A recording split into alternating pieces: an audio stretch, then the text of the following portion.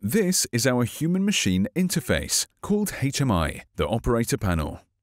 Actually, the HMI shows what the camera sees inside the digital print unit.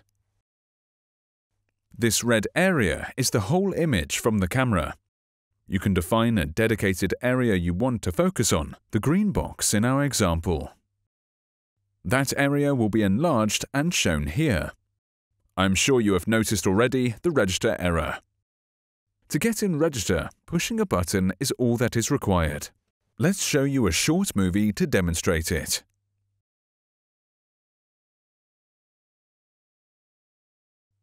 Now we are in Register again. Okay, this was too fast. Let me show you what happened. You see the register error again.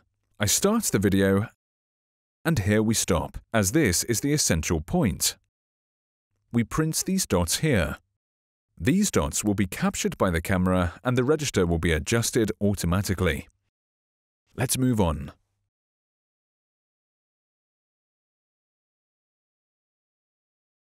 We are in Register again. Let me give you some facts. It takes only a few seconds to set the register.